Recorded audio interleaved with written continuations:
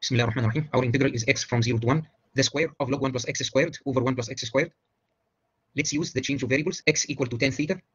When x is 0, theta is 0. When x is 1, theta is pi over 4. dx over 1 plus x squared is d theta. Log 1 plus x squared is minus log cosine squared theta. That's minus 2 log cosine theta. When we square, we get 4 times the square of log cosine theta. Let's denote this integral by omega sub c. Omega sub s is the same integral with cosine replaced by sine. If we add these two integrals, then it change theta here to pi over 2 minus theta. Cosine becomes sine.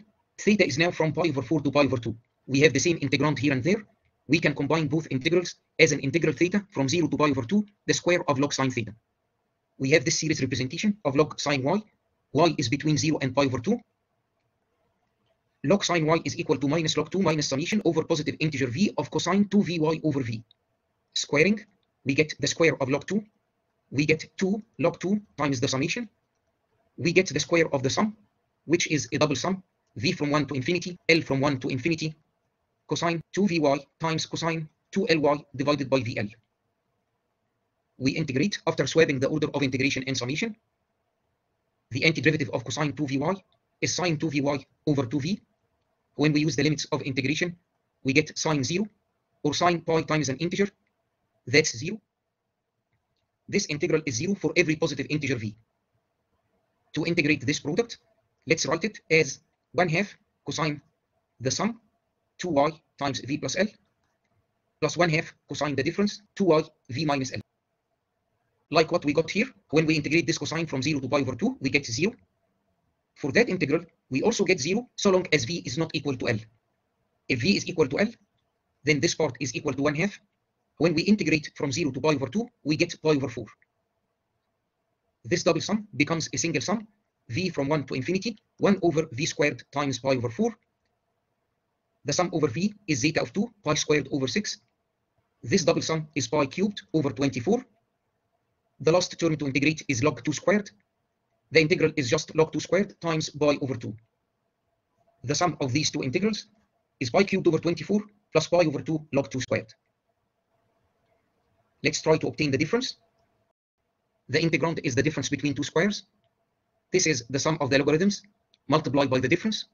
From here we get log tan theta. From there we get log sine theta cosine theta. Let's do the change of variables. t equal to tan theta. Theta is from 0 to pi over 4. t is from 0 to 1. Log tan theta becomes log t.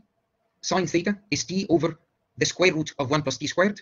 Cosine theta is 1 over the square root of 1 plus t squared. This product is t over 1 plus t squared. d theta is dt over 1 plus t squared. The integrand is log t, between brackets log t minus log 1 plus t squared, all divided by 1 plus t squared. We split into two integrals. Both were obtained in previous videos. This one is equal to pi cubed over 16. That one was more creepy. When we subtract this integral from that one, we get omega s minus omega c. Now we know the sum and the difference. Our integral of interest is 4 omega c. 2 omega c is the sum minus the difference. The integral of interest is minus 7 pi cubed over 96 minus 2 log 2 times Catalan's constant plus 7 pi log 2 squared over 8 plus 4 times the imaginary part of the trilogarithm of 1 plus i over 2. The second integral is x from 0 to 1 log x times the square of log 1 plus x times log 1 minus x all divided by x. The trick here is to employ this identity. We have the square of log 1 plus x times log 1 minus x. If we have alpha and beta, alpha plus beta cubed plus alpha minus beta cubed is 2 alpha cubed plus 6 alpha beta squared. This means that 6 alpha beta squared is alpha plus beta cubed plus alpha minus beta cubed minus 2 alpha cubed. Beta is log 1 plus x, alpha is log 1 minus x.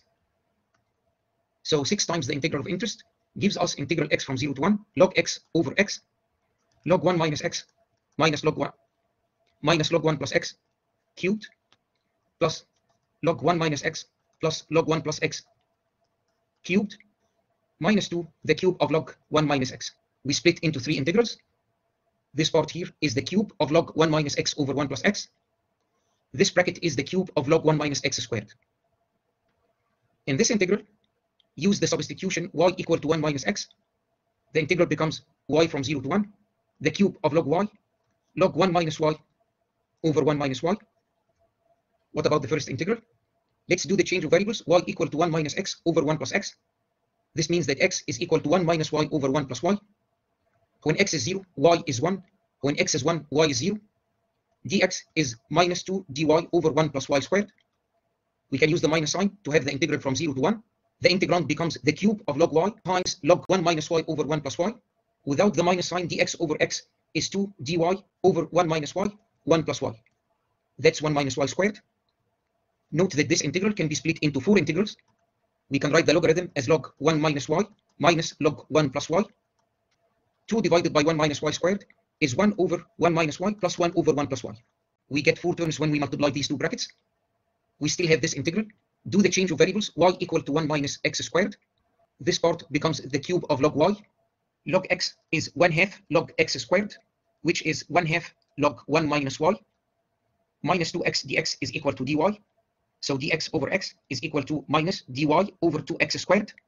And x squared is 1 minus y.